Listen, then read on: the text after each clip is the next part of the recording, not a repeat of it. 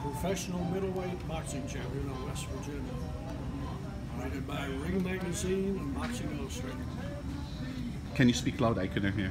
Oh, you want to say the same thing again? Whatever. Well, that's about all I have to say. I was a professional boxer, and when you're a pro boxer in West Virginia, you also have to be a street fighter because everybody wants to try you out. Oh, really? oh, yeah. They want to say, these street fighters are coming to start a fight with me so they could say that they whipped me in a street fight. That's You wa- you want to fight now? No. You kick my No, ass. I, I quit. probably. I quit. I, God bless you. when I got to be 80, I quit fighting. 80? Street- I'm over 80, yeah.